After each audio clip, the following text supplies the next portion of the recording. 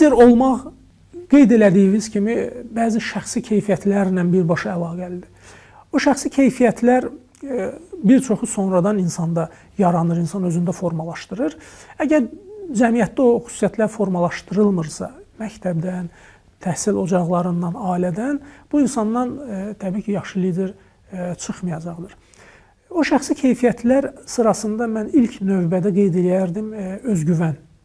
Əgər bir insanın özünə etimadı yoxdursa, bu digərlər məsuliyyətini üzərində götürmə götür heç vaxt götürməyəcək. O məsuliyyəti heç daşımaq istəməyəcək. Ona görə ilk olaraq özünə güvənməlidir, öz qərarlarına güvənməlidir. Öz hədəfinin, qarşısına qoyduğu hədəfin ali olduğuna inanmalıdır. Özünə və kollektivinə uğur gətirəcəyinə inanmalıdır. Bu inam olmasa, bu ilk növbədə də özgüvəndən qaynaqlanır. Ən güclü hədəf və ən güclü plan liderin özünə güvənsizliyi e, kölgəsində heç olacaqdır. Heç bir uğur da onlara gətirmir. Deməli özgüvən.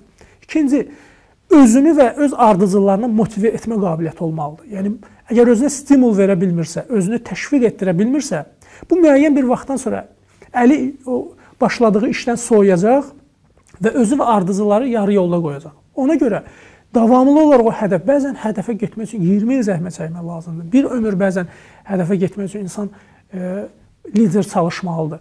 Bu müddət ərzində buna şək şübhələr də yol tapa bilər, ətrafdan təsirlər, mənfi təsirlər də ola bilər. Bütün bu təsirlərə insan son verib davamlı olaraq öz istiqamətində qalması üçün mütləq olaraq mütəmadi olaraq özünə bu insan stimul verməli. Kollektiv əli işdən soyuya bilər, kollektivi də öz arxasınca çəkib aparmalı. İkinci etimad. İnsanların və ardıcılların etimadını qazanmalıdır. Birinci özgüvən, ikinci ardıcılların güvəni. Təbii ki, özünə güvəndən qaynaqlanır bu ikinci. Bəli. Bir insan yaxşı oratordur, gözəl danışır. Ancaq dediyi sözlərə özü inanmırsa, Bəli. heç bir zaman ona dinləyicilərin etimadını qazana bilməyəcək. Yəni özgüvəndən sonra kollektivin güvənini də bu insan qazanmalıdır. Etimad, özgüvən olandan sonra bu yaxşı lider olacaq. Digər xüsusiyyəti mən fədakarlığı qeyd eləyərdim. Əgər fədakarlıq olmasa, yəni bu ardıcıllar görməlidir ki, bu lider e, Bunları əgər deyir ki, gündə 10 saat işləmək lazımdır, özü 12 saat işləyir, 15 saat işləyir.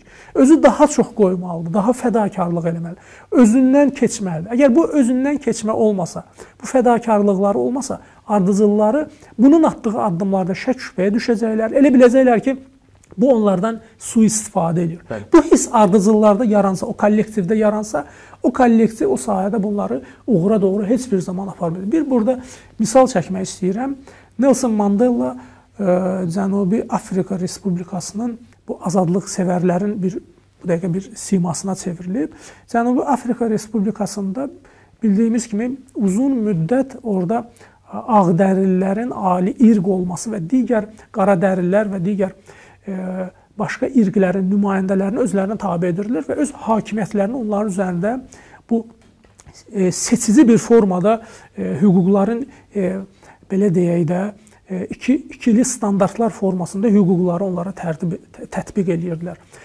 E, Nelson Mandela buna qarşı bir mübarizə aparır və öz fədakarlıqları və özündə olan bu xarizma, özündə olan bu e, özünü fəda etmə nəticəsində sonunda Cənubi Afrika Respublikasının bu insan prezidenti seçilir. Uzun illər zindanda yatır. Ondan sonra hədəfinə gedir, çatır. 20 ildən çox zindan bəli, həyatı yaşayır bəli, və bəli mən həmişə həmin insanın həyatına e, belə heyrətlə baxmışam ki, yəni e, həbsxana həyatından dərhal sonra prezidentliyə seçilməyi, prezident kimi özünə güvəni bərpa eləməyi, çünki o özünə, həbsxana çünki bu o qədər böyük bir lider idi ki, o qədər e, orada insanların etimadını bu insan qazanmışdı ki, zindanda olmağı daha da bunun belə deyək də fədakar olduğuna və həqiqi lider olduğuna insanlarda bir inam yaratmışdı. Bəli və heç bir zaman zindan e, bunun o e, mənəvi nüfuzunu insanların üzərindən heç vaxt götürmədi. Daha da o zindan bunun nə qədər fədakar olduğunu orada sübut elədi. Deməli, e, bu zindandan azadlığa çıxanda orada bir maraqlı bir faktı qeyd edirlər. Spring Box adlı orada bir komanda olur, regbi komandası. Bu regbi komandası Cənubi Afrika Respublikasının milli regbi komandası olur. Bəli. Ancaq milli bu regbi komandası e, ağdərilərin sevimli idman növü olur və ona görə də orada qara dərilər bu idman növünü sevmirlər.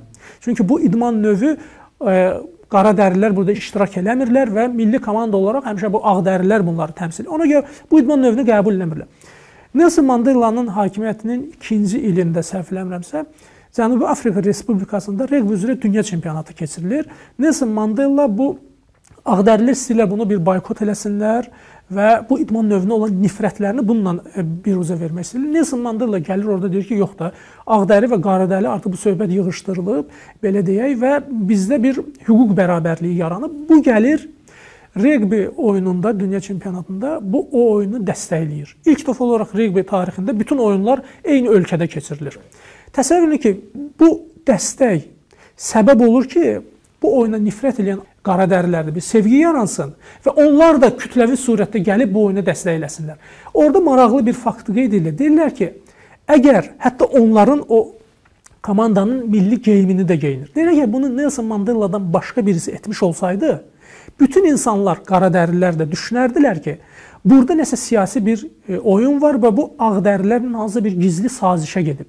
Deyir ancaq bunun həyatı göz qabağında 20 il bu insan zindanda yatıb, bu fədakarlıqları eləyib. Ona görə hamı bilirdi ki və etimad eləyirdilər ki, burada əsl niyyət o ali hədəf uğrunda bir yəni hansısa bir gedişatdır. Ona görə onu dəstəkləyirlər. Və maraqlı bir e, məqamdır ki, bu o qədər o ağdərilərin komandası belə deyək də o vaxta qədər elə hesab olunan bu komandaya o qədər böyük mənəvi ruh verir ki, onlar o il e, dünya çempionatının qalibi oldular. Qalib oldular. Yeni Zelandiya komandası o vaxta qədər çox möhtəşəm bir komanda sayılırdı, məğlub olunmaz bir komanda. Bu onlar üzərində bu komanda yəni qalib, qalib olur. O da hamısı bu liderin o mənəvi dəstəyi roludur ki, burada özünü göstərir.